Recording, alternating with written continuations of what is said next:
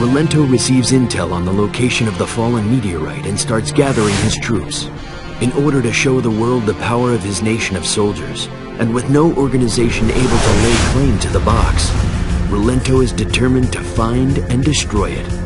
However, with the entire Antarctic on high alert, with many skilled soldiers spread out across the continent, and factoring in rumors of how the box reacts to conflict, Rolento soon realizes he needs both a skilled fighter and infiltrator. Rolento decides to send a request to a well-known ninja village that specializes in infiltration and subversive activities. Ibuki initially refuses the request when she learns of the mission, but reluctantly agrees to go after some persuasion from her village elders. The mission begins now.